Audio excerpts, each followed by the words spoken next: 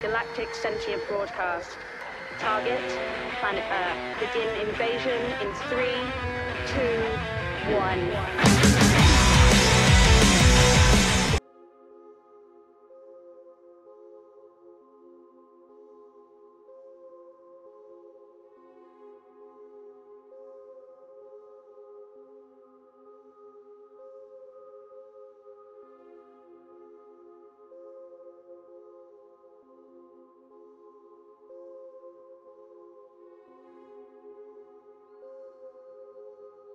Greetings, invaders. My name is Scott. This is Book Invasion. Thanks for joining me in my dark underworld cave. I'm here because we're here to talk about the underworld and talk about the book The Border Keeper by Kerstin Hall.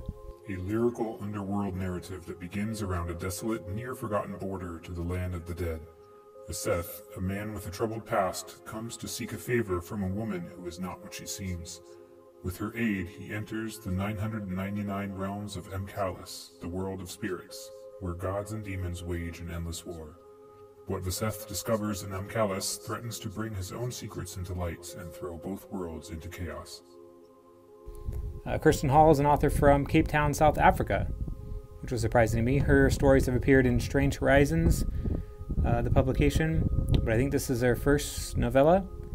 And The Border Keepers is, is a dark mythical fantasy story about a, a, a, witch, so to speak, who kind of guards the borders between the 999 demonic realms and the, I guess, the present existing human, human realm. And the border keeper has gone by many names in her many hundreds, there are thousands of years uh, of existence. And so she's lived many lives. She's been through the underworld and uh, and she's conquered some of the underworld realms. You'll see some of that in the story. Um, so there's a, a man named Vaseth who our story opens up with. So Vaseth is on a journey to meet the border keeper. We don't know what his intentions are. So he goes to the border keeper and we find out that he needs to kind of find somebody to track somebody down and only the border keeper can help.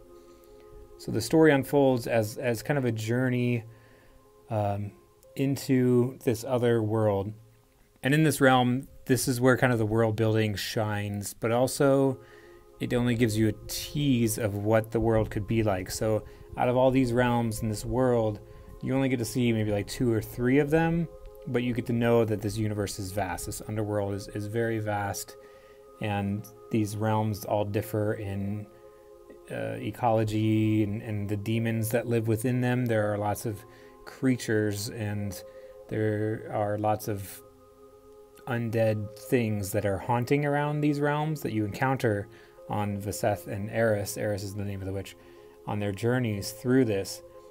And I thought it was really interesting the way that the world building took place in these realms that they go to. And I really wanted to get more of this world. I wanted to get through all of 999 of these realms to see the kings of these realms, because there are rulers to each one, to see kind of the demons and their demonic armies that they that they have and maybe the culture within these realms and who kind of lives or exists in these realms. I really wanted to get more of that, but the one the pieces that we did get in the story were really fantastic. There, there's these surreal and grotesque kind of abominations that that are floating around these realms. You don't really know what the rules are, uh, and when you're traveling amongst these realms, you cannot tell a lie you cannot lie, and you cannot eat or drink from the realms, or else your soul will stay there.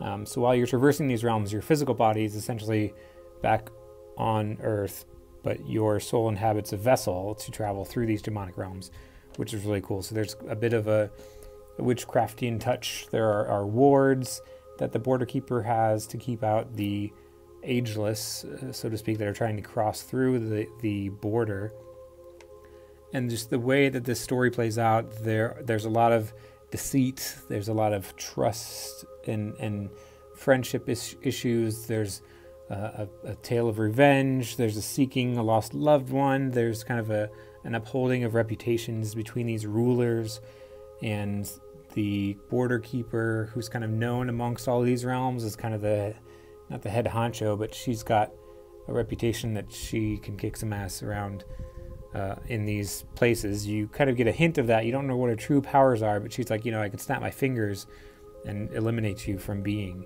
She kind of threatens that here and there. So when you have like a, a, a frustrated witch traveling with this nomadic person, Vaseth, and you are not really sure what his intentions are, the combination of that into a world where you don't know what's going on and your the main character doesn't really know what's going on. He's kind of being guided by this short-tempered witch who doesn't really want to explain anything. She's just like, just shut up and do what I say. So you never really get a fully full understanding of, of the of these realms, which I think was kept me glued into the book more than not, uh, because I always wanted to get to know more of where they're going and what the place looks like and what's what things they see and how those things act. I really love that aspect of learning about all of those things of the realm. So this this novella I thought was really awesome. It was really great. It it captured you into this new these new realms of being and this story traverses you through those. And it was short, but it packs a whole lot. There's a whole lot to digest in such a short book that this book could go on for a multitude of, of longer series. So I thought the surrealism between this, the kind of the dark and mysterious, the, a little bit of grotesque, these these demons, the way they interact with each other, and just this whole world and the way the border works and who's there. And throughout the book, there's some battles, and so there's there's there's people getting beat up and the, the violence, and there's a bit of action in, in throughout all this stuff. So it's not just like they're going from point A to point B. There's there's point A to find something else, and once they find something else, they have to battle their way back um, and not to screw it up and don't leave the guy alone or else somebody else is going to go on and who what their really motives are and I'm now I'm just rambling. Now the Border Keeper was a review copy that I got from uh, from Recorded Books, I believe.